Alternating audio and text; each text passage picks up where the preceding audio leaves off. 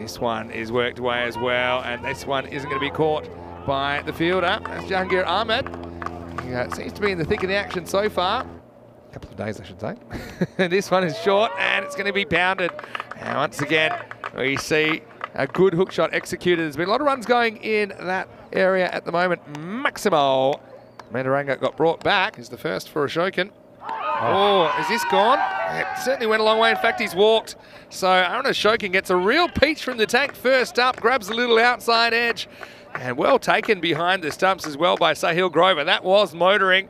And Ashokan, well, credit to him as well. He didn't wait for the umpire's decision. He knew he nicked it. He went straight away. So a big wicket. Ashokan goes first ball. It's 16 for two.